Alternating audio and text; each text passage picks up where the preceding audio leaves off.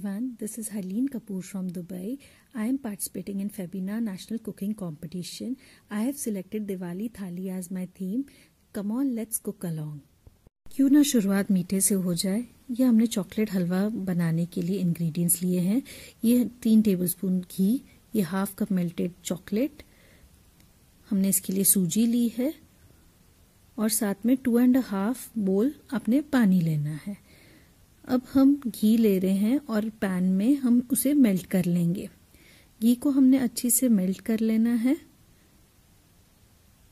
एक बार घी मेल्ट हो जाए, फिर हम इसमें सूजी डाल देंगे। मैंने ये रोस्टेड सूजी नहीं ली है, ये मैंने नॉर्मल सूजी ली है। आप चाहें तो रोस्टेड सूजी भी ले सकते हैं। सूजी को हमने फिर अच्छी से घी में मिक्स कर लेना है। मिक्स करने के बाद हमें सूजी को अच्छी से भून लेना है। साथ ही साथ में हम पानी रख सकते हैं बॉईल करने के लिए, जो हमने पानी टू एंड हाफ़ बोल लिया हुआ है, उसे हम अलग से बॉईल कर रहे हैं। ये सूजी जब भी थोड़ी सी गोल्डन ब्राउन होने लग जाए, आप उसे धीमी, और धीमी आँच पे रख सकते हैं। अभी ये रोस्ट हो गई ये सूजी, अभी हम ये चॉकलेट डाल रहे हैं मेल्टेड चॉकलेट आप चाहें तो कोको पाउडर भी डाल सकते हैं वेरियस ऑप्शन है। आप चाहें तो खाली डार्क चॉकलेट से भी बना सकते हैं।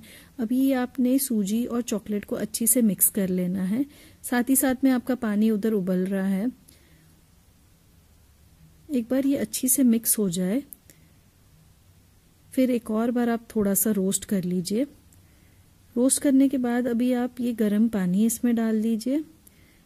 गर्म पानी डालने के बाद इसे अच्छी से हमने भूनना है हलवे को। ये भूनने के बाद ये ऐसे अपना हलवा रेडी है। तो chocolate halwa is ready to serve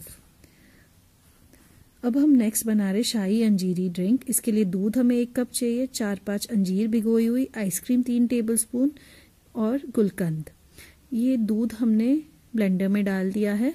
इसके बाद हमने ये अंजीर है, इसको हमने तोड़ लेना है। चाहे तो आप चॉप करके भी रख सकते हैं। इसमें आप नट्स भी डाल सकते हैं। ये शाही ड्रिंक है तो नट्स वॉलनट्स आप कुछ भी डाल सकते हैं। अभी नेक्स्ट हम इसमें गुलकंद डाल रहे हैं one and half tablespoon और हम वनीला आइसक्रीम डाल रहे हैं। शुगर डालने की ज़रूरत नहीं बिकॉज़ सब मीठा है ऑलरेडी तो शुगर हमें नहीं डालना है। बस इसे हमने ब्लेंड कर लेना है। और ये हमारा शाही अंजीरी ड्रिंक रेडी है और हम ये कुल्लड़ में सर्व करेंगे। अभी हम नेक्स्ट शाही रायता बना रहे हैं, उसके लिए मैंने फेटा हुआ दही लिया हुआ है।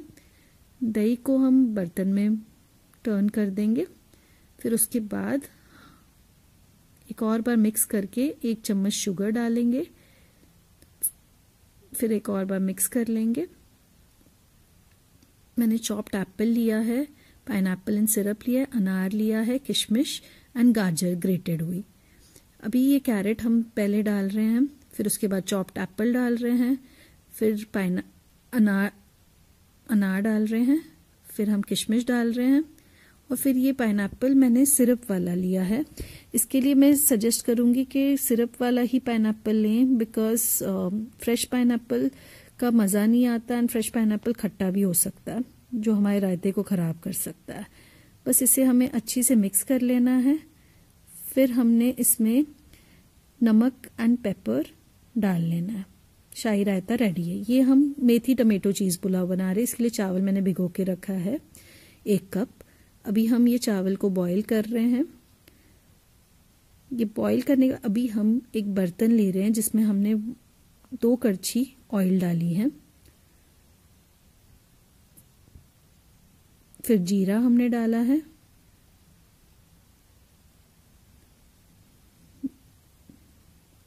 अभी हम इसमें जिंजर गार्लिक पेस्ट डाल रहे हैं।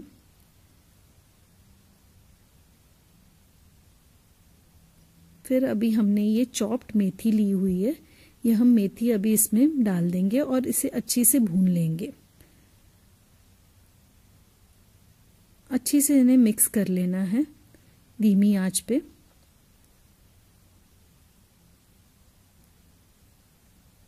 मेथी जब तक रोस्ट हो जाए, तभी तक आपने हिलाते रहना है। फिर ये हमने दो टेबलस्पून टमेटो प्यूरी डाली है।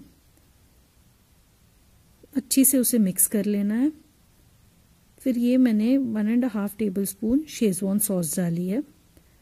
ये रेड चिली एंड गार्लिक की पेस्ट कह सकते हैं। फिर ये बॉइल्ड राइस हमने इसमें डाल दिए हैं।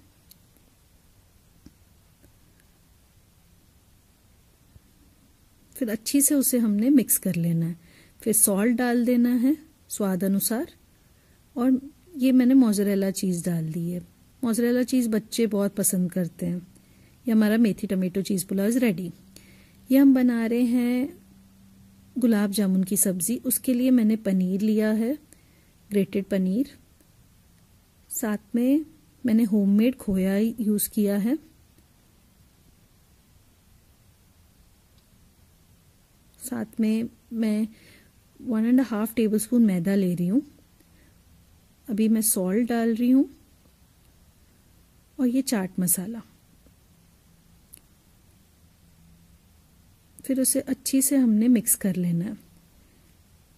इसे हम थोड़ा सा मैश कर लेंगे और ऐसे हमने गुलाब जामुन छोटे छोटे बना लेने हैं। गुलाब जामुन के कोफ्ते रेडी हैं। फिर अभी हम डीप फ्राई करेंगे इनको। ये कोफ्ते हमारे फ्राई हो रहे हैं। ये अब रेडी है। अब ये हम निकाल लेंगे। तो हम ग्रेवी बना रहे हैं। इसके लिए मैंने one and half tablespoon oil लिया है। मैं इसमें अनियंस डाल रही हूँ। ये मोटे कटे हुए अनियंस मैंने लिए हैं। बस इन्हें एक बार सोटे कर लेंगे। फिर हम इसमें टमाटर चॉप डाल रहे हैं। ये भी मैंने मोटे ही कटे बिकॉज़ फिर मैंने इस, इन्हें पीस लेना है। फिर हम आठ से दस काजू डाल रहे हैं। इसे मिक्स कर लेंगे। थोड़े से लाइटिश ब्राउन हो जाए, फिर एक मोटी इलायची, एक लाल मिर्च। फिर हमने ब्लेंडर में डाल के इन्हें पीस लेना है।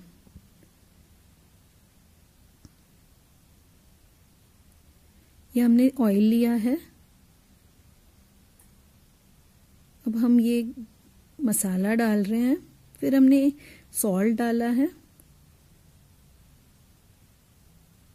और रेड चिली पाउडर अच्छी से इसे मिक्स कर लेना है। थोड़ी सी हल्दी डालनी है। अब हम इसमें थ्री टेबलस्पून क्रीम डाल रहे हैं।